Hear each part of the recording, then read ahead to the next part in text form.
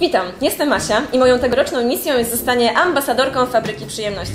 Dlaczego ja? Na pewno wielu z Was zadaje sobie teraz to nurtujące pytanie. Odpowiedź jest banalnie prosta. E, już jako mała dziewczynka miałam ogromne szczęście e, podróżowania po całym świecie z moją mamą. To właśnie ona zaszczepiła we mnie fascynację egzotyką i ciekawość świata. Z kolei jako pilot wycieczek zagranicznych e, miałam okazję zwiedzenia takich zakątków świata jak Stany, Meksyk, Kanada i wiele europejskich stolic. Una de mis pasiones más grandes es el cine. Varias veces participé en los festivales de película donde tuve oportunidad de hacerme cargo de los invitados extranjeros, realizar traducciones de entrevistas, conferencias de prensa y deliberaciones del jurado.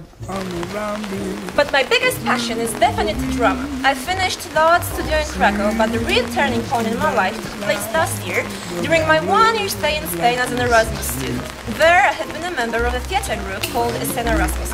Apart from the shows that we prepared during the whole year, I had a unique possibility to participate in a professional tournée with 25 shows performed all over Spain with the international show called La Nave The performance and the preparation of the show made me feel as alive as I never was in my entire life and uncover so many hidden aspects of myself.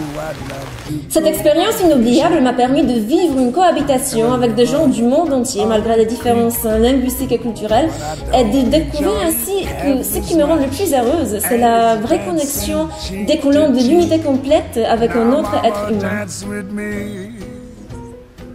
Penso che la posizione dell'ambasciatrice della fabbrica di piacere possa darmi la possibilità di lavorare nell'ambiente internazionale che mi fascina da sempre e di vivere una grandiosa avventura con Vede e i suoi dolci prodotti. I'm in heaven. And my heart beats so that I can hardly speak.